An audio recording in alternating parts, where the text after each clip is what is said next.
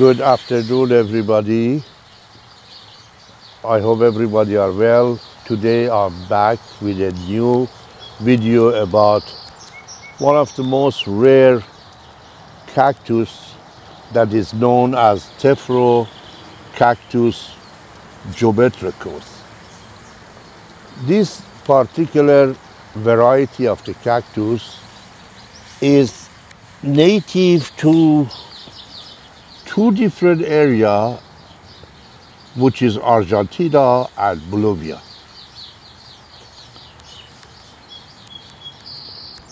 In its natural environment, it grows in a desert, sunny and hot area.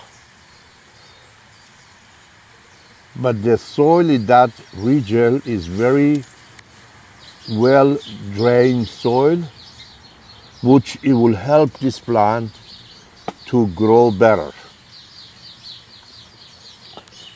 Tephrocactus has quite several different variety.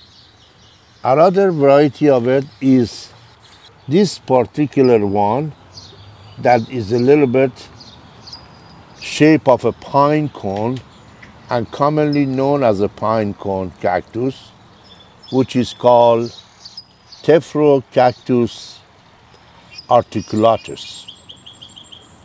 But our subject today is about this one, Geometricus. Geometricus is one of the very extremely rare and pricey cactus that they grow on the top of each other as you see right here the pops grows at the top and they create level by level different type of growth. The color of this particular cactus, because it loves a lots of sun and heat, sometime in that environment become more purplish reddish color. It has a very pretty flower which is pinkish but the flower only lasts about one day. The body of this plant is globular and round with the segments that stacked on the top of each other like a, a snowman and has a very beautiful textures as you see that create a very beautiful shape.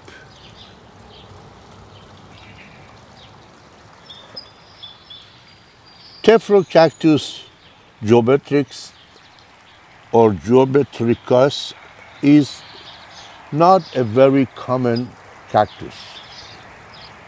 As I have said to begin with, it is among the rare and hard to find type of cactus and pricey. Here you see most of these young ones do not have any needle, but this one does provide some needles that generally happens when the plant gets older and older. That doesn't mean that these ones are young. No, these are also older plants, but it's a cutting because growing this particular cactus from seeds truly is not easy and extremely is a challenging. So the best bet is to just cut pieces and propagate it. But also there is an issue about it that when the plant start growing this shape, it start picking the very good value. So therefore sometimes you do not want to separate because it takes a long, long time to stack on the top of each other. So the solution is this, that you have a few of this plant and keep some of them for the shows, as you see, and some of them only for propagation. Here I have this one, this one, this one, and this one, and this one, and uh, these are the ones that I don't intend to separate, but I have some other ones in the greenhouse that they are generally is good for separation. As you see, the needle of this plant is very nice and they are laying down and also white color. But in this particular variety, articulatus, they have a sort of needle that become like a very much white and like a sheet, like a, a leaf. Tephro is among the very, very slow growing cactus and uh, it is very easy to propagate if you do by the cutting separation.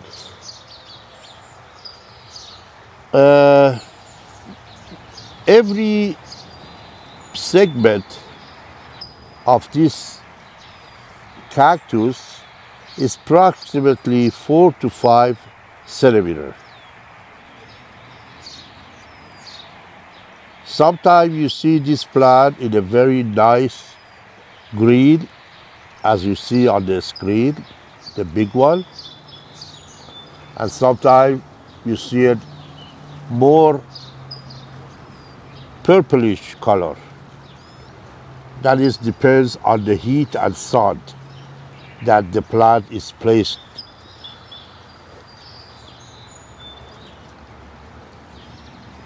There are not very visible leaves on this cactus, but they are very, very tiny.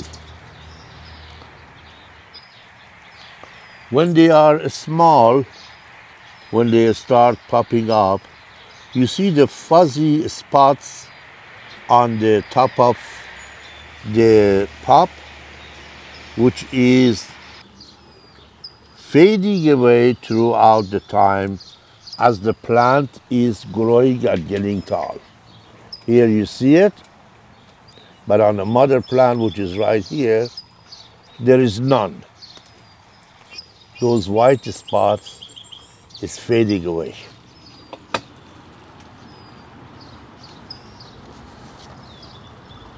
I would like to encourage you to reach to find some of these cactus and uh, add it to your collection and grow it because they are very easy going as I have said very easy to grow.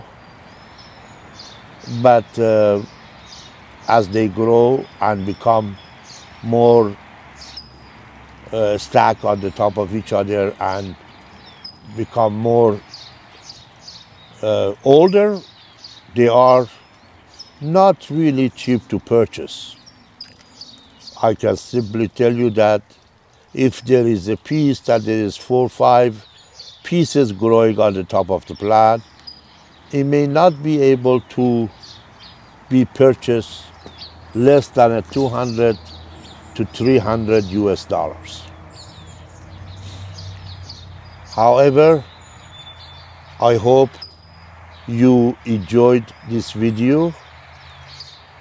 This is a video that I wanted to add to my uh, videos for you to enjoy.